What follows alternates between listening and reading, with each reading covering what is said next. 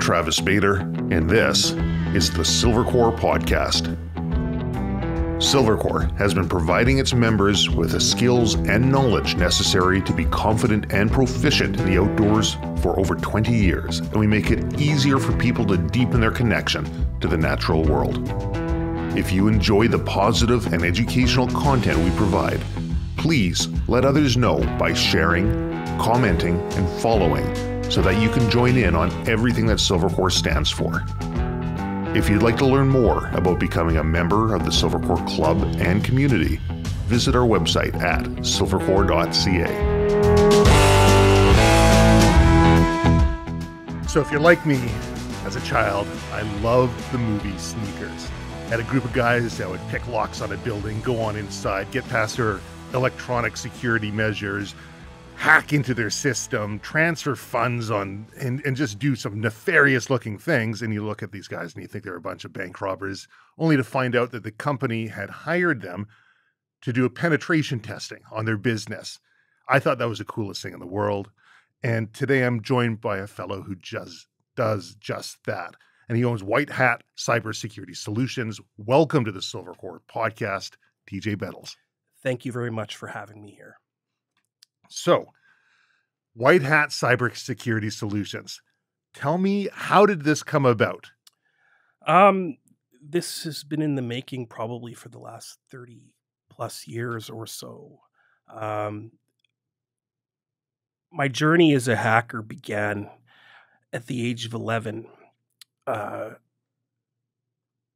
when I took control of my elementary school's network Oh, yeah. and locked out all the teachers.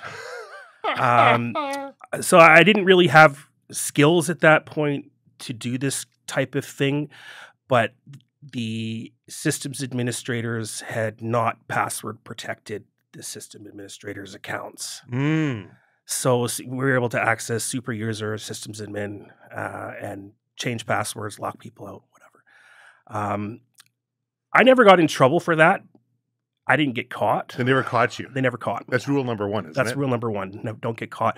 Uh, and that's kind of how my journey down, and that's what I see hacking as. It's it's a big, or it's it's a progressive number of rabbit holes that you end up going down and, and researching. So, being a good hacker is about being able to pull information uh, from your target. So, the more information that you can gather about your target, Mm. the better chances you will have of being able to succeed in, in penetrating into the system. So you learn this framework as you go uh, of being able to extract information from your targets to determine what software they're running. Mm. Are, is it an Apple system? Is it a Linux system? Or is it a Windows system, etc.? Um, what what are they running on their website? What versions of the different plugins are they running on their website? Because any any one of those could be uh, your way in to an internal network. So, I- you know, I've always found this sort of thing very fascinating. I, when in high school, actually a high school that both you and I went to, Mhm. uh, we had a computer teacher there who used his wife's name as a password, and uh, I was able to.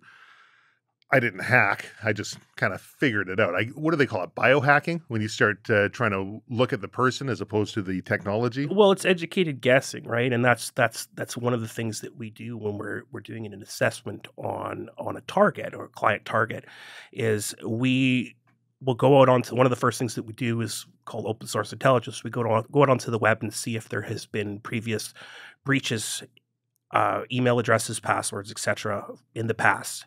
Uh, and, and in a lot of instances, organizations are not staying up to date in changing passwords and keeping in keeping things secure. So, and in a lot of instances, we were able to get in, gain our initial foothold into a, a client's network through just open source intelligence, pulling that information off of the web, and then you just you just you run a brute force attack and you try. Is that like dark web type stuff, or Yeah. is that yeah? Yeah, it, there, that sometimes sometimes there's there's a few sites that we go to that are constantly publishing stuff off of the dark web. Okay. So some of them are, you pay for, some of them are free. I've got a database uh, on my Linux machine that's 44 gigs of credentials from the web. Holy crow! Yeah, so it's uh, I don't know uh, And that's just when you say credentials. That's just like usernames, passwords, that's a email lot address. of. Not all of them are accurate anymore because the, the Sure. database is a couple of years old. Uh, and so I have other other avenues that I can go down to go down when I'm looking for for credentials that are a little bit more recent. So that's the first thing we look for. We always look for the easy wins to start off with, uh, and then if we don't find the easy wins, then we start pulling information about the system. Hmm. What are they running? Uh, are there is it, is it uh, do they have a website? Are they you know you just you have to go through these steps in order to see what you're up against. Totally.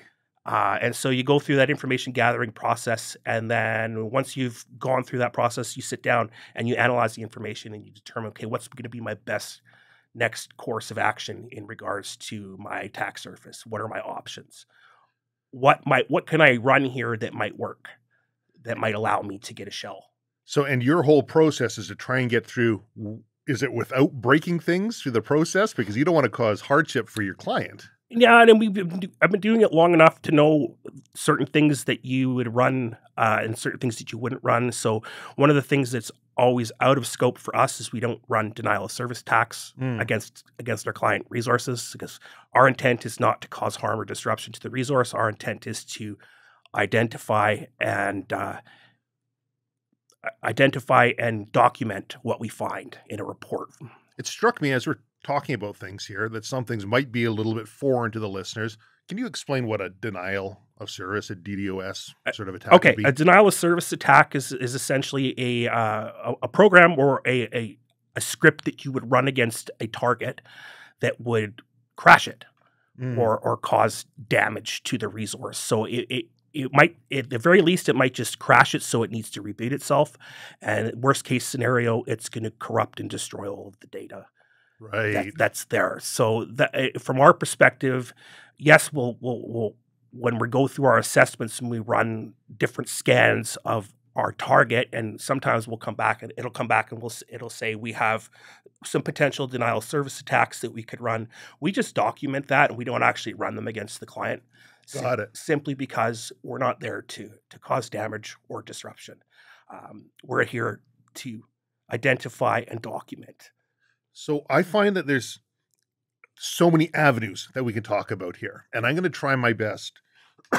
excuse me, in a to try and address it in a chronological order in the best sort of ADHD way I can, which Okay. is tends to be all over the place. Oh, that's fine. Let's just have a conversation. Yeah. Um, so I find that the people I know who make the best sort of hackers, let's say, are, and they're not necessarily people who are computer hackers, but they're able to figure out problems, right? They're able to figure out um, puzzles, get around things. They're people who have a mindset of approaching a problem in a very particular way. And the first thing that you said about the low hanging fruit, finding the easy way in.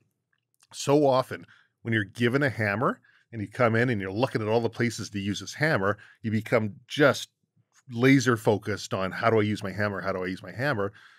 And the people who tend to make the best problem solvers in this respect are those who can put that hammer down and say, I know I've got this hammer, but let me just take a look at this this situation around me and what I can do. And I'll give an example of that.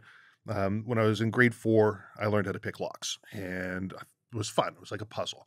And by the time I got into, well, I was out of high school at this point. I um, was working for uh, Shaw Cable. Mhm. They'd just taken over from you know Shaw and Robert Rogers. They did their swap, and it was my job to go into places and audit and make sure that if they're getting cable and they're not paying for it, that they're either upsold or disconnected. But you have to go into the apartment blocks and you have to find um, uh, the electrical boxes and, and where everyone's at. So Mhm. I'd have to drive all the way downtown, go get the keys for the apartment blocks, come all the way back to wherever it was, and then zip back out as quick as I could before everything closed. I'm like, this doesn't suit me. I want to get up early. I want to do my job. I want to get out and be on the beach or do something else halfway through. I know my list of the places I have to go to. I'm just going to skip the key part and use this as a challenge, right? And I ended up making a uh, uh, a lock pick for internal locks. I just turned down some steel in in a lathe and drilled it out and hand ground some hacksaw blades as the it's uh, I think they call them super locks.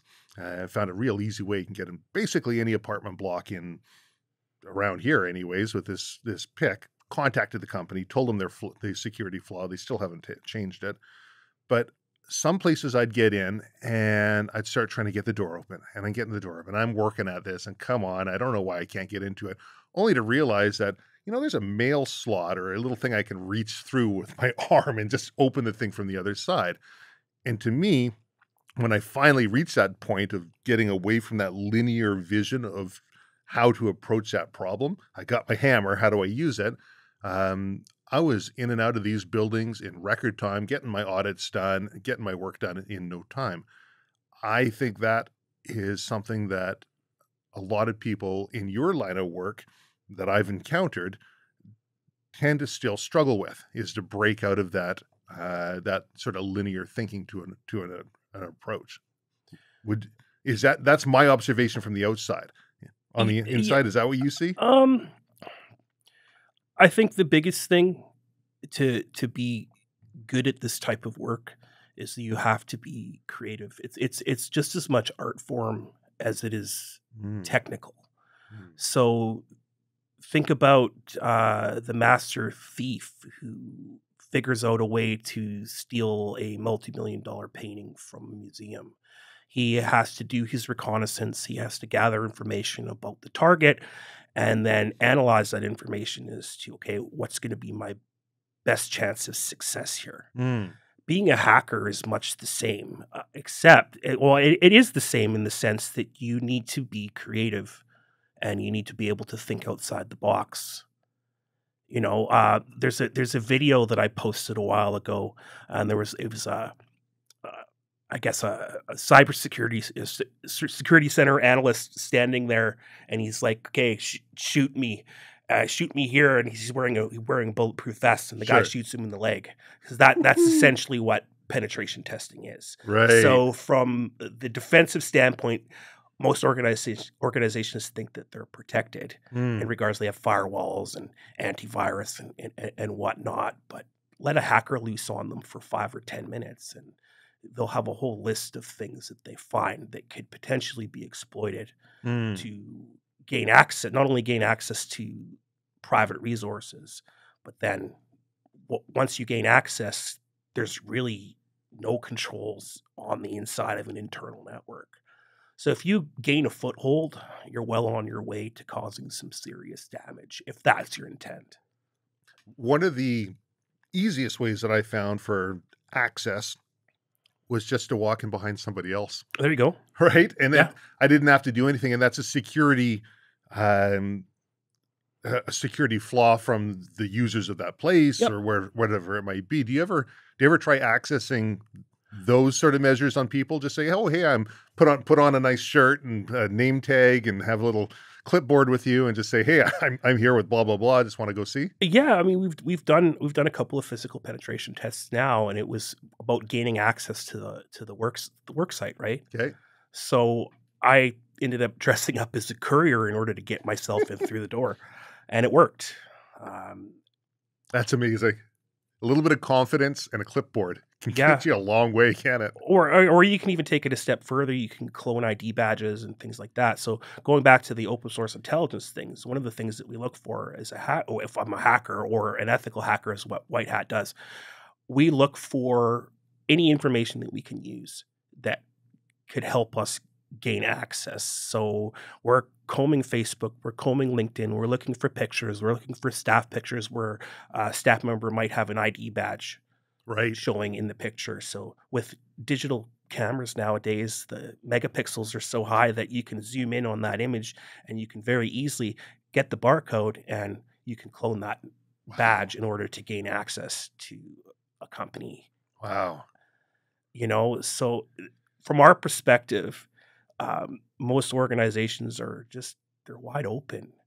Um, and that's really what, and you know a little bit about my history. I had a gym in Nova Scotia, Yep. and before that, I, I worked in HR. I worked in software solutions for a number of years. But I've been a hacker since I was a kid, Mm. uh, and I cor- sort of put that onto the back burner for a little while when I was doing the work thing with with in HR and and, Yeah. and in software solutions and then the gym. And then when my wife and I got out to Nova Scotia in 2018, I was hacked. My phone was hacked. They got into my bank account Mm. and whatnot. Luckily, the bank caught it before uh, any damage was done. But that was it was then, so 2018 or so, that I ramped up. I took my mediocre skills as a hacker uh, and I, I ramped up my studying and training. And so over the last five years, it's I've taken it to a whole other level. And because of what I had done with my extracurricular activities growing up, now just let me preface this by saying I've never caused any damage Yeah. and I've never done anything that would be would warrant a knock on the door from the police Right. right? So when you're learning how to do these things, the web's a great place to go. You can see other people who've gone down the path before, and they they're great at writing write ups and YouTube videos and and whatever. And then you find you start finding different areas that you can get information from in Mhm. regards to your your learning process, and then you just it's trial and error. Well, I, I really like that. So, just from the let's say the lockpicking side, I was always told, don't tell anybody. Yeah. Keep, keep it to yourself. Yeah. Nobody's going to trust you if they think something. And sure enough, told someone something goes missing. You're Like, well, Travis knows how to pick locks. Like, I never stole it. I wouldn't do that. Right. I enjoy the puzzle of it. Mhm. I enjoy the learning process of it. I'm, I'm not here to do something illegal. No, and that and that's that's for me. It was I was never interested in causing damage or harm to anybody. It was all about ch- always about challenging myself to see could I do it. but that also raises a um,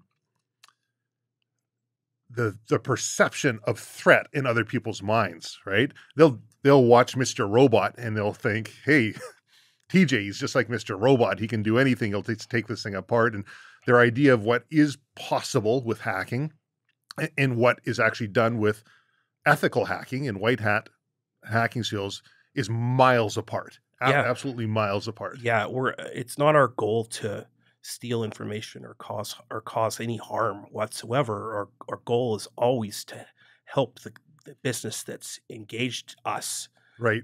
to evaluate the attack surface of their of their network.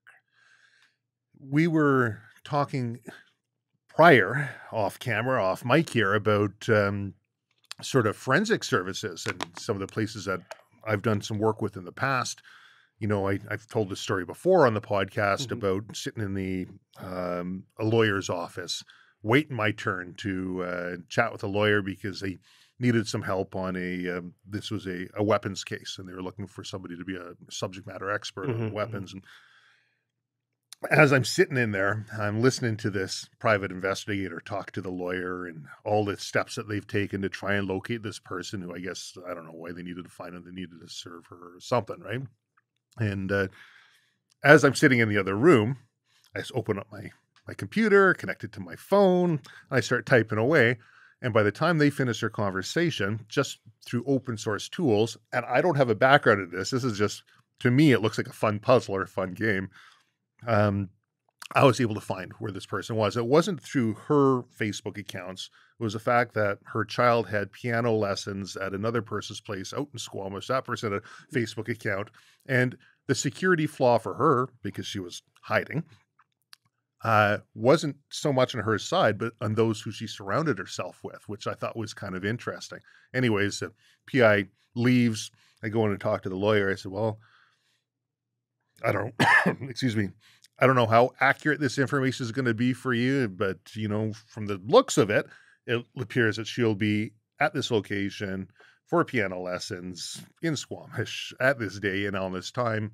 And sure enough, that's exactly where she was. And that led to uh, a few other interesting gigs, and I can chat about that afterwards. But um, the the security that falls outside of your control, so to speak, um, is that an area where you typically find people's flaws, people's In, in, in a lot of instances, yeah, you'd be amazed at what people share, confidential information that they share on on their social media pages, pictures specifically. You could get um, a license plate of, of of their vehicle, for Hmm. example, or um, like I said before, ID badges for the Mm. workplace. Or i- i- i- i- we're list as as as ethical hackers when we're going through our evaluation process. We're looking for anything that we could potentially leverage Mm.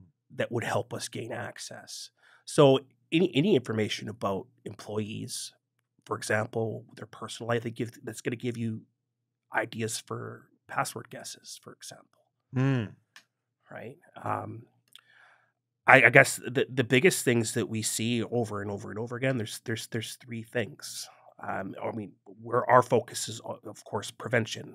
So the three things are security policies, good security policies, good password policies, good configuration. So using the best encryption available, et cetera, making sure that all of the pages on your on your site and your network that you're connecting to have uh, have good encryption, and then of course, what's the last one?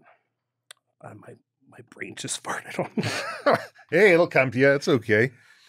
So good security policies. yep, good security policies, good configuration, hygiene. Oh yeah, then software patching. Software patch. Oh, right. Yes. Yeah. So a Uh, lot of people don't update their software. They don't up. They're, they're not. They're not. They don't think it's that big of a deal. They think it's more of an annoyance than anything else. And anytime a, a vendor releases a software patch for a piece of software that you're running, it's because they have identified bugs or vulnerabilities in it. Mm. So it's important to do your Windows updates and all of your software updates as they as they are released, because if you don't, you could very well then be be vulnerable to attack. What about firmware updates on, let's say, routers? And is that are those are those going to contain performance upgrades usually, or, or security Uh, upgrades? both Yeah. usually, uh, and generally it's security upgrades. Mm. Right, so you've got older routers that they come default out of the box with a, a nine-digit password, Mm. uh, and so nine like number digit passwords are very easy to crack. They don't take very long to. So a nine-digit would probably take fifteen minutes. And that'd be alphanumeric, capital. No, that would just be numbers. just numbers. Okay. So these these are come default out of the box with numbered passwords. right. Which are is not secure. So I'll give you an example. It was just on the island doing a penetration test for a resort, uh, and uh, we uh, tested their wireless. All right, so they had nine wireless access points. We were able to not only gain the passwords for each each and every single one to access the Wi-Fi network, Mhm. but I was able to then, with default credentials, get into the back end of the routers as well. Come on. Oh yeah, so we had full control. We were able to take full control over their internal network uh, simply by breaching their wireless security. Now this this becomes uh, an animal with legs on it, or a spider with legs, because the implications of this are, are huge. This is this is a, a, a resort where they have business conferences on a regular Yeah. basis. So they have a conference center and whatever. Uh, think of the business people that are going in there, and then they're off time. Then they're in the rooms, and they're accessing the hotel's wireless network. And there could be malicious actors on there because they're very, very weak security. So you just never know who's listening and who might be trying to intercept your traffic, who's even evaluating your machine. So if you get onto the internal network, I can then run a couple of different commands and I can see and I which machines are running on on that particular network. And I get an IP address, an internal IP address for each and every single one of them. And then you start the evaluation process. You start your scans and you see, well, what are they running? How many which ports are open? And then it just goes from there. And Would- so you're always pressing forward, right? Would you ever use the free Wi-Fi or the included Wi-Fi with a, a hotel? Yeah, I would. would? I would. Uh, but use your use a VPN. So protect yourself through a VPN. Okay. Um, but you just never know who else might be in the hotel, sitting in their room. Uh, could be a malicious actor. He's sitting there waiting for someone to log in. You know. I, I remember number of years ago now, I had, I think it was a WRT54G Mhm. router that I'd taken apart, and it was a project of mine to try and be able to pick up um, Wi Fi signal at long distance, Mhm. and uh, that was that was kind of a fun thing. Not that I know what I'm doing to do it, but I can follow instructions like on YouTube or on the internet and Mhm. just Mhm. kind of go along with that. But uh, I'm I'm sure that sort of thing is probably pretty outdated.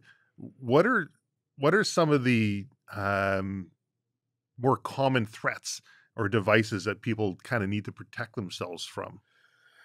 Uh, Because these devices threats. get easier and easier for people to purchase and cheaper and cheaper. And there's really no you can mitigate your risk but there's really no way to protect yourself 100% if you're connected to the internet you're vulnerable Mm, and that's just the reality of the landscape so just going on and opening up a web browser and going to your favorite websites is a risk right. just simply because you have an ip address that's assigned to your machine you're, you're connected to a network that then connects on a gateway to the internet you're, you're you could potentially be uh, targeted by malicious actors One thing that surprised me, uh, another law firm doing some work for, they had a woman come in and she was a uh, wanted to separate from her husband. Spousal abuse was Mhm. pretty bad. I won't get into the details. Um, lawyers, what they usually try and do is they pour cold water on the person. They say, ah, you know, just going to be a lot of money. It's going to be painful and difficult. If there's an easier way you can resolve this, right? The good lawyers, anyways, they don't want to just jump in, take your money, and pull you through the ringer. Anyway, she pulls out a tin can with about, was I think it was like 50 or I think they, they said they had about I don't know how much money she had there. She she had about 50 grand worth of tin cans with money rolled up inside there, or 80 grand, I think is what it was. Like, where are you getting all this cash from? Oh, my husband, he's got lots of these. They have what? Right? And all of a sudden the picture started expanding of what they were looking for. And we ended up using a company called uh, TCS Forensics. Uh, Keith Perrin, individual owns it. Mhm. He's got no computer background. He doesn't have the expertise that you have. He hires other people that do, and put a PI on the husband, a PI on the building, um, just so you can see who's coming and going, and you can keep in contact if someone's coming back. And then the team goes inside, and they imaged, and this was a surprising thing for me, everything. Like they had devices. I guess if you're going to take things in a forensically sound way, you want to make sure you're not introducing any data. So they have these devices that it can only pull data, but it won't push data. But I mean, everything your TV, your the phones, the computers are obvious. I think like coffee machines and toasters and like just just stupid stuff that you wouldn't even think of. Um, that has that is IoT, Internet of Things. Yeah, I, I, Yep, IoT, IoT. en- enabled. Yep. Um, and the amount of information that we willingly release through our thermostat, through our television, know. it's crazy. I know, and that's that's that's the the currency of the hacker is information, Right. right? So you're always looking for how much information I can get out of a out of a potential tar out of a client target, because that information will determine our our level of success. So, what makes a good hacker? Uh, a curious mind, uh, outside the box thinking Mm. and uh, and that ability to uh, to execute right. Uh, so you have to be able to. It's it's it's repetitive. Mm. So I mentioned a little earlier that I was a little, I was I, I found out recently that I'm I'm likely on the autism spectrum, Right. uh, and so that it's kind of stimming for me when I when I go through a penetration test because it's it's repetitive after a while once you Ah. learn the the ins and the outs and the, and the basics of it then it's just it's it's a progressive number of rabbit holes that you go down when you're exploring uh, whether or not something will be a, a viable vulnerability for exploitation It's like stacking boxes. pretty much ha- have you seen that? Uh, man, we all got a good laugh out of it. You know, we watched this autistic fellow do a review of this comedy. I guess it's a comedy skit. Yeah. Guy standing outside the jail cell. And uh, have you seen this one? Mhm, i think so he, the reporter's like, "Okay, well, it's good to good to see you." Whatever the guy's name is. I cannot see you. I can only hear you. right? I have been here. I've done my interview. I've been waiting for 26 minutes to start to speak with you. But anyways, shows his interview. He's talking with this guy, and getting more and more excited. The guy's like, "Oh, it's a rigid routine." Oh, tell me more about the rigid routine. Oh, you know, we had to stack boxes. Who's stacking boxes? And he's st- sitting up and standing down, standing up and sitting down. And uh, anyways, by the end of the skit, the guy's like, "I want to go to jail. How do I get in here? We wear the same thing every day." But that mindset, although that was set up as a comedy skit, and the autistic fellow who was uh, reviewing it and laughing at it because he says, "I can identify with a bunch of these things." He says, but I'm older. Some of these things I had in a more serious way. Now I'm able to control it better. A lot of those traits really kind of set you up for being able to problem solve and in a way that most people would lose patience with. Yeah. Yeah. Um, I mean, my wife, I'll give you, use my wife as an example. She's pretty good with the computer, but she, when I start talking to her about what White Hat does and getting into a little bit more detail, she's just her eyes glaze over and she's, her brain just doesn't work that way.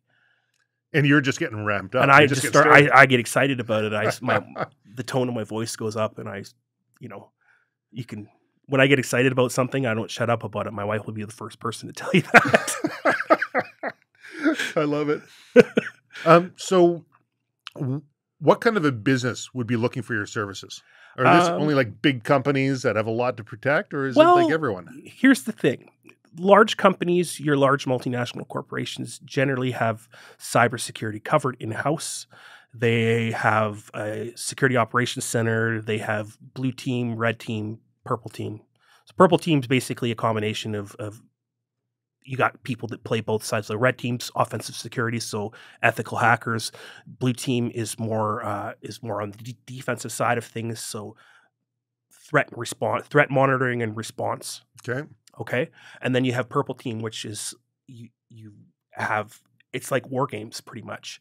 You have the red team guys trying to break in, and the and the blue team guys are are addressing the threats as they come in and and, and identifying them and, and then implementing a response based on standard operating procedures.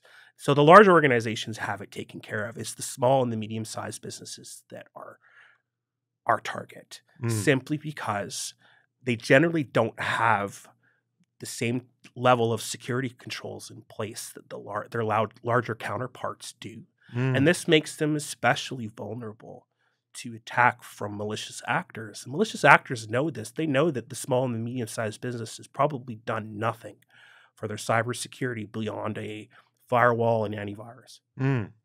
You know, and mm. and so the malicious actors know this, and so they target the small and medium sized business because it's like we said earlier, it's the low hanging fruit. They're looking for an easy win, an easy way in. That's how hackers operate. That's 90, 99% of them. The other 1% are targeting specific organizations mm. because of what, for whatever reason, whether it's for they're anarchists or for its monetary gain or whatever, or ransomware. Um, you have to understand how a hacker thinks. Uh, so, as I said earlier, if you're online, you're vulnerable. With that's that's true, but you can take reasonable steps to mitigate your risk. What are some things that it would uh, frustrate a hacker? Frustrate a hacker? Um, good security. Yeah. Yeah. So uh, like what would good security be? Like if if someone's listening to this and they're like, you know, I've got my router, okay, I know I'm going to have to do a firmware update after listening to this. Mm-hmm. Make sure my software updates are all good. I'm not going to use that nine digit uh, numerical code because it could be brute force attacked, which is yep. zero one, zero zero two, yep. zero zero three, yep. and it just runs through and takes time to run through all the different numbers. Um, on top of that, should they be like? Is there a, a preferred length of a um, password length. Yeah, and special characters. I always recommend 13 characters or more. Okay. Um, alphanumeric and symbols. Okay. Yeah. What, what about those like keychain on a Mac and these things? Like people start relying on these like uh, password wallets to hold everything. But what if that wallet gets compromised? Are they? Well, there was there was one a few months ago that was compromised. I think it was oh, I can't even remember what it was now, but one of the major password vault companies, they they were hacked. Right. And so hackers were able to get in and access information, passwords for different accounts for all of these people that were using. Was it Secure Guard? I think wasn't it? I'm not sure. I'm not sure. Uh, but yeah, that's that's what they were. That's what they did. So nothing is hundred percent. As I said, you can all you can do is mitigate risk. See, I, I used to, I got lazy and I started using one of these like password things to, to hold everything, but I used to just use an algorithm and I'd apply it to everything. Mm-hmm. And so if someone learned my algorithm, they m- might be able to figure out the passwords for the things. Like for example, if you're you're wearing a West Side shirt and got a what is that a bulldog lift in and Yeah, that's a bulldog. yeah and uh, it's black and so the algorithm like if that was your company and i'd i would uh, apply it to the the logo the color the name um maybe location Mm-hmm. and then i'd do an alphanumeric and character swapping off of that. So all i have to remember is i'd look at the company or i'd remember oh yeah it's the bulldog west side barbell black and i'd be able to figure out what my password was off of that. Um i got lazy. And i stopped doing that is that a good way to for people to use like from a from a secure standpoint or have you ever have you ever encountered people that use algorithms and try and hold it all in their mind Algorithms can be cracked too. It Mhm. all depends on how complex the algorithm is and how how how strong the encryption is. right? So it it might be better than using just a regular password, provided that the malicious actor isn't able to gain access to your actual algorithm to decrypt Mm. the information. One thing that I found uh, to be true is the more complex the security system was, the more rudimentary a means that a person would use to bypass it. Now, that might not apply for an ethical hacker, but for somebody who's not ethical, man, this thing's like Fort Knox. All right, break out the dynamite. Right Yeah. now we're in. Well, I mean, even even the your software vendors out there, like, at least Fortinet as an as an example, They were to have one of them. yeah, you, you're using it. Oh, I, I used to have a couple of the Fortinets. yeah. they there was a major critical vulnerability in their system that came out a few months ago Oh, so wow. oh yeah it was it was a cve 10 so which is the highest rating you can assign to a vulnerability it allowed unauthenticated users root access And they're like, this is a like security gold company standard. this is a security company and this is this is what i try and say to people when they ask about what we do and they think oh we, we've got a firewall we've got fortinet we're fine Yeah. well actually you're not the reality of it is is you're you're not you're not safe uh, Mm. and, until you've taken care of your configuration your security policies and up to date software patching that will prevent 95% of attacks That much, eh? Yep. 95% of attacks can be prevented when you focus on those three things. Did you ever find out how your phone was compromised? Yeah, it was my fault. I I, I received a, a text message which I thought was from the bank and it was so I was social engineered. So I clicked on I clicked on a link and that that downloaded malware to my phone and that's how they got in. Mm. Yeah, that's um I, I guess good tip.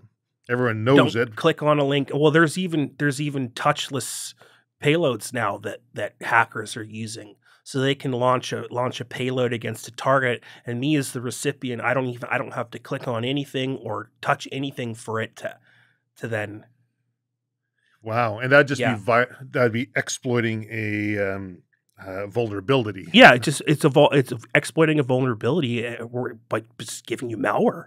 So I, I don't have to click on anything through a social engineering attack or an email or whatever for, in order for that payload to execute. All they have to do is send, and they they pointed it at my IP address and they're in. You know, we're we're getting into a more and more digital world, and where they're trying to bring in, like you look in the states, and they're trying to say, look at our currency is going to be cryptocurrency, right? Mhm. And we're that's going to be everything's going to be trackable. But man, everything's going to be so damn vulnerable, especially when we bring in quantum computing. There's a company here in Burnaby that a few years ago was kind of leading the edge on the quantum computing standpoint. Mhm. Like, I got to imagine I, I guess there's a couple approaches. It's sort of like people I've spoken to who are concerned about having information out there on the internet. They Mhm. say, I can either A, hide everything, or B, inundate so much stuff that it's so difficult for them to look through, right? Um, with quantum computing coming down the pipe, everything's going to be open and vulnerable, I would imagine.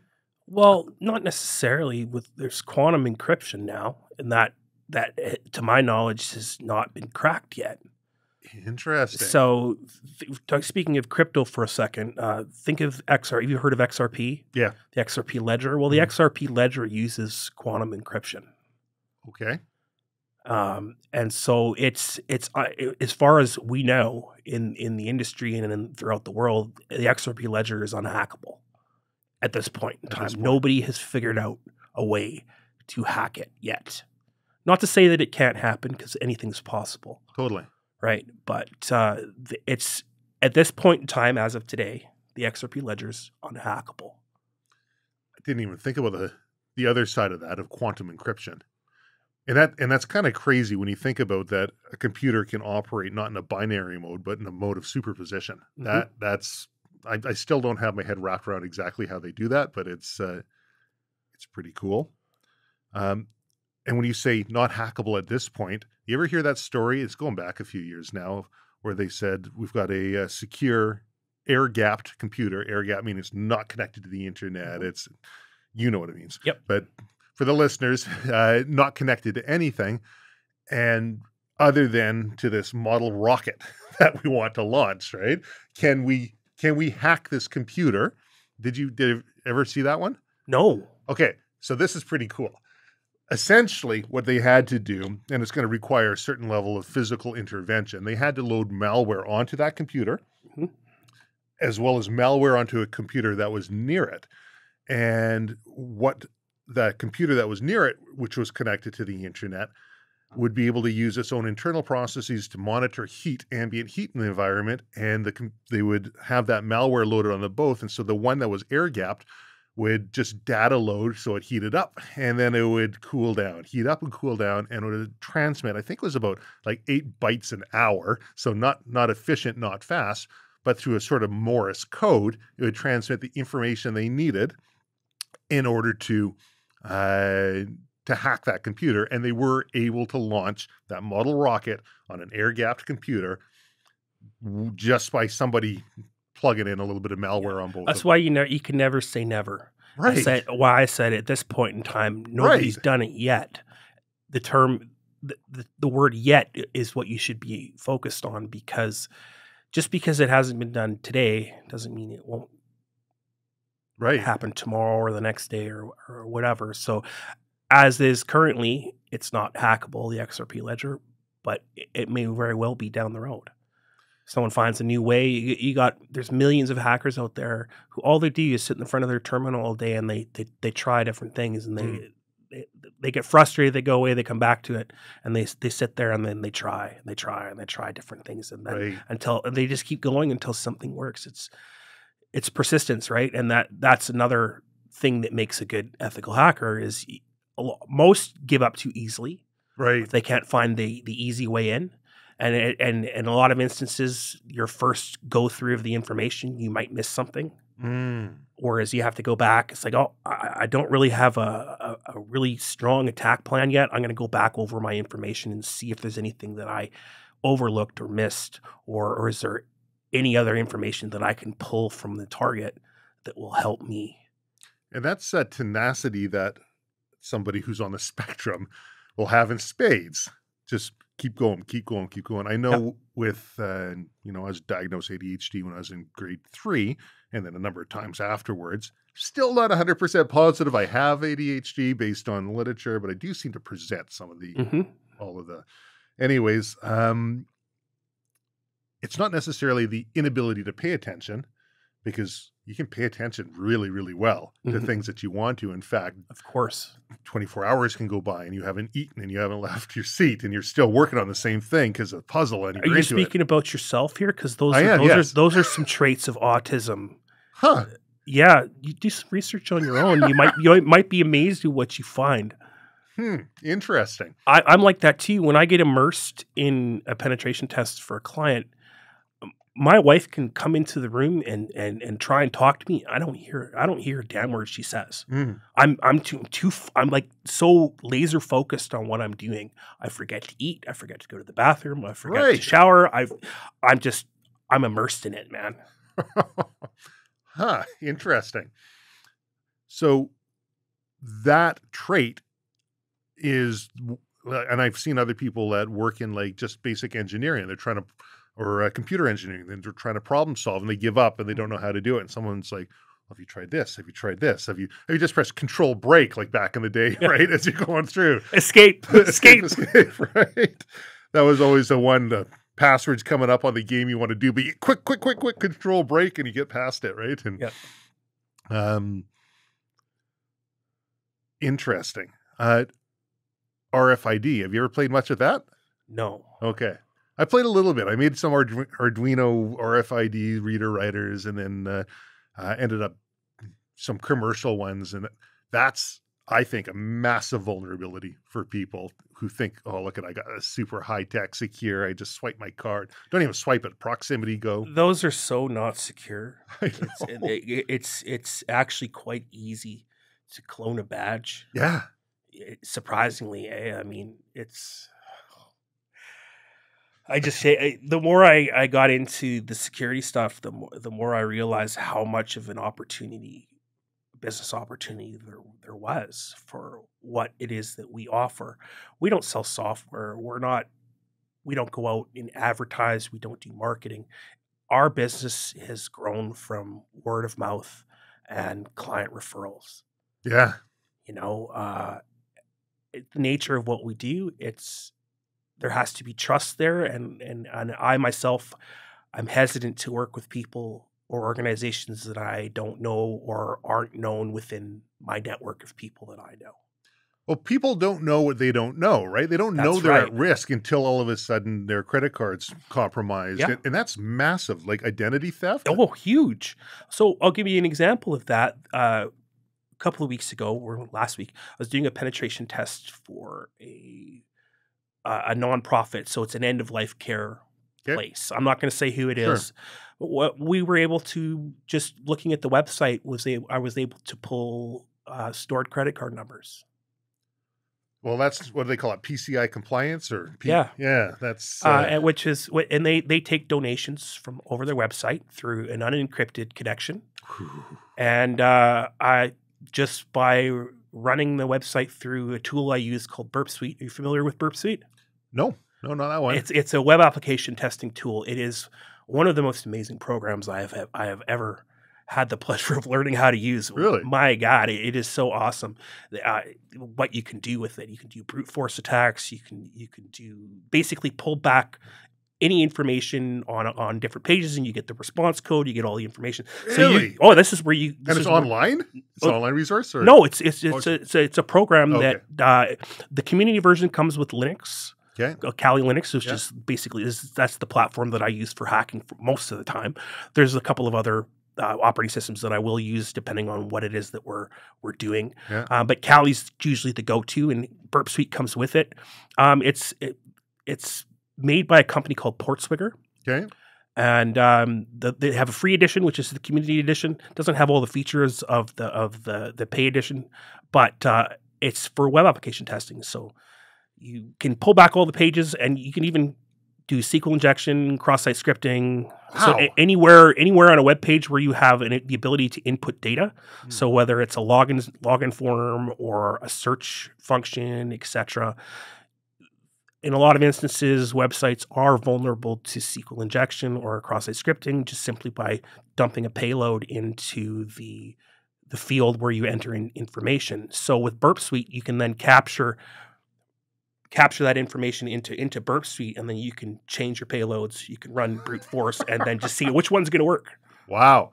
So would a headless design website be inherently a little bit more secure? If one area gets compromised, it might not compromise the entirety, or If you get in one place, then chances are they're going to get in for the rest of it. It's just a matter of time.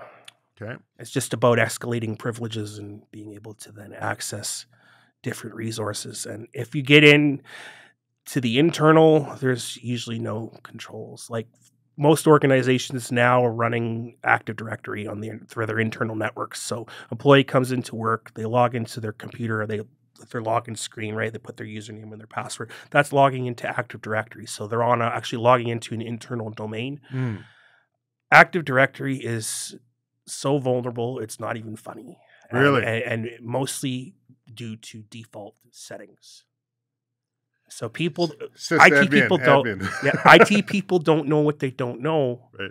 uh, and, and they end up setting up Active Directory incorrectly, so it leaves it vulnerable. So we've done some internal ones where we've gone in, uh, where we were given um, login access just to gain initial foothold onto the, onto the network to do an internal network assessment, and within a few hours we were able to take over the domain controller uh, and basically have root control over their entire network. Man, that's scary. Yeah, Have very heard, scary. Have you heard of a guy by the name of Samy Kamkar? No. You should look him up. I think you'd enjoy some of the stuff that he's done. But um, he, back in the day, MySpace days, Oh, that's that's way back then, eh? going back, but he's still active. He's still doing his stuff. But um, uh, he's does the ethical hacking and stuff as well. But back in MySpace, I guess he made the world's, and it might still stand to date, um, fastest propagating worm. And essentially, anybody who like clicked on his profile would get a little thing injected on their profile that says like Samy Kamkar is my hero. My name is so and so, and Samy Kamkar is my hero. Right? Anyone who clicked on their uh, their link, it would do the same thing, and basically it just boom, he, he put the thing out there, and it just spread like wildfire. And uh, he looks for exploits and things, and he does a lot of stuff at the actual physical level of like working with the um, the microchips and everything. He Mhm. did a neat one with a uh, a Mattel toy called uh, IMME. Uh, basically, it was an instant messaging device for kids who the parents, excuse me, parents didn't want to give phones to and expose them to the world. They could only instant message between other people who had these things. And it is running a, a Texas Instrument um, chip in there that was actually a pretty cool little chip that he said, geez, that's, I can't believe they're using that chip in there for this little device. And he developed a, um, some code to use this little kid's device to basically open up any uh, rolling code. Uh, and was it rolling code? No, I don't know if it did rolling code. And basically all garage door openers, all garage doors, you can open it up with this little kid's device uh, using uh, De Bruijn logic, where Wow. if you have a number like let's say the password is uh, uh, uh, two three four right so you go brute forcing your way through he found that he could greatly reduce the time of injecting a code if the device didn't require a reset in between each password Mhm. so if he goes one, two, three, and he keeps running four, five, six, in the middle there he's got two, three, four, and that would be the password that. So, anyways, pretty brilliant fellow. And he, what was the other one? Uh, Peep Mail. If you wanted to see who was, and I don't know if it's still running, but it was kind of a neat one. You could go onto a website and say, let's say, Amazon or um, Microsoft or whatever it might be, and you could essentially search all the people's names who are associated with email addresses through that system. And a good way to be able to find out um, people's email addresses, contact the Mhm. big boss, or Mhm. or pretend to be someone. I guess. That's finding email addresses is one of the easiest things. That's one of the I've mentored a few guys along the way, and that's one of the first things that I, I teach them is the open source intelligence stuff. Is like how to find email addresses and figure. And if you can't find it, what you make educated guesses. Like especially if you're a salesperson, Hmm. you know you're you're always looking to try and connect with decision makers right, Right. and so how do you do that if it's not listed on the website well you you got linkedin you can figure out okay who works for this organization who's who's the big boss they likely have a linkedin profile then there's some different tools that we can use to figure out the syntax for the email address Uh, and then you just go from there. And then, then you, there's another couple of other tools that you can use to verify the email address before you even send them anything to make sure it's it's Oh, a really? legit email address. Smart. Oh yeah, so it, it automates a lot of that. So rather than doing it one by one, it, it you just point and click and Is AI going to play a role into this, into how you can start Uh, I've sifting been, through data? I've been playing with AI actually. Um, I had a, I have a bypass for ChatGPT, so it allows me to run it from the Linux command line using an API plugin. cool. And so it with this bypass, it, it I've got it to write exploits and uh, scripts for me and things like that. so That is crazy. um, there's there's there's a, a guy out of Singapore who has built an open source penetration testing system that's the back end of it is is is run by chat gpt for ai yeah and i've been meaning to download it. I just haven't gotten around to to trying it out yet. Um, but he says from it's the ai assists you from the perspective so- of if you get stuck the ai will be able to look at all the information that you've pulled down and go okay have, you haven't looked over here or over here yet it's time you, you should go look in these areas and it will give you hints on how to Right. Because so, they've been building safeguards in. Like originally, I could upload, and I guess you can still do it through API, but I could upload unlimited size document essentially, and Mm-hmm. Yep. it would. So if I've got a book I have to read to prepare for a podcast, I could upload that book, and it can give me a summary of all of these different things. There- I'm sure there's a way to do that now, but you can't do it right through the front facing anymore. no you you you need to run the the bypass Mm, uh, on the back on through like linux or whatever the, the bypass i have is is written in python right. Okay. Yeah.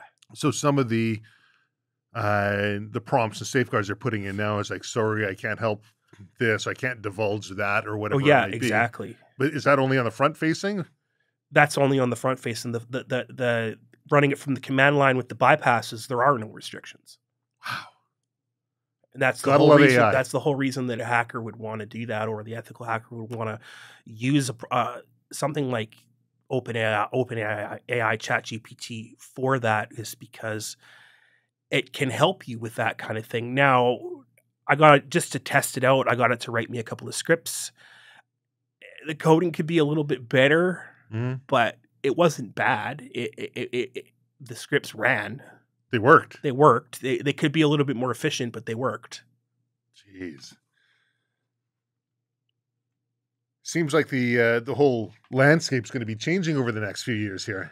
Yeah, I think so. Um, I don't think we'll see the disappearance of the human penetration tester anytime soon. What the what AI lacks still is that outside the box thinking, that Mm, creativity that the human factor brings into it. right. The the AI, AI only knows what it knows. Yeah. I- i- It's not at that point yet. I don't think where it has the ability to think abstractly and outside the box when it comes to trying to f- push forward Mm. on a penetration test. Now, I'm just saying that based on my limited experience playing with it. Mm-hmm. Um, I certainly need to experiment more Mm-hmm. in order to. And I've been waiting. I I, re- I reached out to OpenAI and asked them for a, an API key for the newest release, which is ChatGPT four. I'm on a wait list. Okay.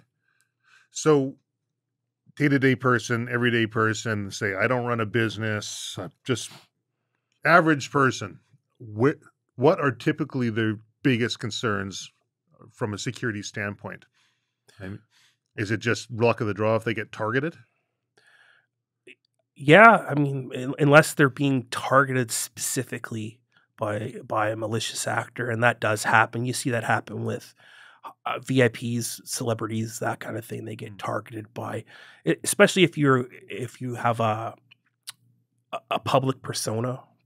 Right. You know, uh, the malicious actor could end up targeting you because they want to shake you down for for money. They're going to steal your information and put it out there, and there might be things that you don't want going out into the public domain. Mm. So they'll be like, okay, well, I'm gonna I'm gonna dump it on the web unless you pay me x x number of dollars Mm. through Bitcoin or whatever, right? Mm-hmm. Um, so, what can the individual do to protect themselves? Don't use public Wi Fi. Okay. Um, stay up to date with their software patching on all their devices. So, anytime you get a, um, a systems update from for your phone, download that. Same with the apps that you have running on your phone. Make sure they stay up to date Mm. and uh, use strong passwords. Are there ever system updates that come through that aren't actually system updates, but there's somebody trying to get you to update something? Uh, I'm not. Uh, do you have a an iPhone or a? Yeah, I shut it off before we started Okay, recording. But yeah. Um, I I've never actually seen that, but I suppose anything's possible. yeah, It would it would mean that they would have needed to compromise the system server that you would be getting the the update for, say iOS. right. They would have to have then put something malicious on the download server Mm. so that you're connecting from. So they could not target you directly in that regard. They'd have to go through like target Apple Mm. and then put something in there that you would then download. And now I'd like to think that Apple is pretty secure, but again, just like everything else, if you're connected, you're you're vulnerable. Uh, Mm. it used to be that there was a story that would go around that Apple is far more secure than Microsoft. It's not. I don't know if it's, in my opinion, anyways, at the time, was just less people were using it. That's exactly it. and so there's less people trying to attack it. Yeah. And so those known exploits weren't. And there's there's exploits that are are being made public all the time, are vulnerabilities for iOS devices and Apple products. Mm. So again, staying up to date with your software patching is probably the biggest thing. Because that that from a hacker's perspective, that's that's an easy win. If you're Mhm. running outdated software, I'm in. It's, Mhm. it, it, it literally won't take me very long at all. Really? Oh yeah. What about open source systems? What are your what are some of your favorite places to go to for open source? Would it just be basically social media? For like intelligence wise or or, or, Well, or if you're tools and if you're taking your first steps at looking at a um, uh, doing an ethical penetration test on a business, uh, Okay, so if let's just use an, uh, an external penetration test. So with that, we look at all of the access points to the internal network, the website, uh, routers, that kind of thing, and we pull as much information uh, from those IP addresses that are within the scope of the test, and then we analyze and then go from there. Um, we have yet to do uh, a- an engagement where we have not found at least one critical vulnerability, which means full compromise. wow. And, and you know, in a lot of instances, we don't actually go and there'll be certain things that we won't run against a client target. Like, hmm. so for example, we can attack pieces of software that are attached to a website, or you can you can even attack the, the memory in the operating system. Right? We wouldn't generally attack the memory in the operating system because that could crash it and cause damage Mm. so there would be certain attacks like one's called a buffer overflow is basically you you part of the attack crashes it crashes the system and if you know how many bits it takes to crash a resource you can at, at that exact moment when it hits that that number of bits to crash it Mm. you can then insert code and launch and get a get a shell that Mm. will give you a reverse shell access to the resource. So I don't like to run those against our client targets, and not that it, it- all of them would cause damage, but there's a risk. Right. So there's certain things like in in that regard that, that in my opinion, I that I, I'm hesitant to go and and do that simply because there's risk of causing harm, damage, etc. Um, remember, we have to remember what our our our focus is, and that's identify and document, not cause damage. where do you see the future of cybersecurity going? It's going to get worse before it gets better. Yeah. Oh yeah. Um, there's a lot of people now learning how to do this stuff, but it, it takes a special kind of in- individual. Some people can try, try, try, try. They don't, they don't pick it up at all, and others, within six months, they're dangerous. You know, when Mm. they first, from when they first start playing around with it, and it's just, it's like anything else. It's a skill. It's just practice, practice, practice, practice. Mm. Easier to identify pattern recognition. This worked last time. Yeah. Let's give it a shot again. Yeah, and then you just you end up learning as you go because a lot of times you get stuck on an engagement and you have to okay, where well, I'm stuck here. What do I do? Okay, out to Google, Yeah. start searching. You know, uh, when I first started back in the '90s, that stuff didn't really exist. So I hang out with my friends and we sort of learn off of each other. I had a, a buddy that lived down the street from me. He taught me the basics, and so we kind of went back and forth and then we lost touch with each other and then i met another friend in my 20s who he was the, the greatest hacker i've ever known and he's never taken a computer course in his life Really? the guy's like seriously a genius uh, and uh, he taught me more about all of this than Really? yeah and then and then when i was hacked in 2018 that's when i really kicked it up on my own my friend that that was the hacker who taught me he's he's in his 50s and he's he had a stroke and Right. yeah he's Young, young for a stroke. Yeah. Uh, he's he's had his issues. with um, hit by a car a number of years ago. And anyway, that's another story altogether. no kidding. yeah, Well, is there anything else we should be talking about on this before we uh, wrap up? I can't think of anything. Um, if, if you think that we might be able to add value to your organization, reach out to us. Um, Yeah. I'm sure Travis will uh, publish our website and our contact information when he puts this up. Yep. So we're going to have uh, links in the bio. We're going to have Yeah. links, Okay. both on the podcast, both and on YouTube, and you know, it's probably causing people to have a whole bunch of questions. And it's something I know about you is you enjoy those sort of things. You enjoy questions if Yep. people have them. So look at the links. Contact TJ with your questions. TJ, thank you so much. for Thank you very podcast. much. Thank you.